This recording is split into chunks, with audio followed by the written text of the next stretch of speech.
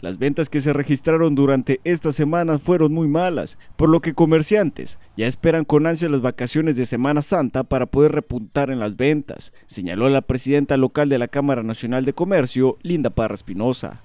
Pese a que el 14 de febrero trajo una muy buena derrama económica a los comerciantes de Ciudad Valles, lo cierto es que al pasar esta fecha conmemorativa, las ventas cada vez han ido en descenso, sobre todo en esta última semana, por lo que esperan que el próximo periodo vacacional las cosas cambien, ya que con la llegada del turismo a la región, que se espera que este año sea alta, eso ayudará a repuntar en las ventas. Además de esto, se le agrega la llegada de la feria, el cual es un evento trascendente para ellos, por lo que esperan que existe una buena afluencia de personas para que adquieran sus productos y terminar con esta mala racha.